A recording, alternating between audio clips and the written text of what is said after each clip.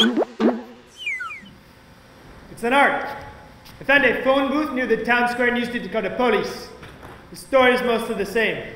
Lost boy, scared, confused, mute, 13 to 16. I learned early on that you have to be convincing. From the moment they arrive, they have to believe that you are a lost boy, scared, confused, mute, 13 to 16. They see a kid wearing a coat that is too big, an hat that covers the eyes. They believe certain things about him. And anytime they step close, I needed to provoke in them a sense of guilt. They see a young kid who you can't approach and you can't touch him, they realize that something is off, something is wrong. They feel like they need to take care of that kid. I wasn't the one saying that I was molested or abused. I made them ask me that by the way I acted, by my demeanor, by my attitude. It was a long ride to the police station. I didn't give them much.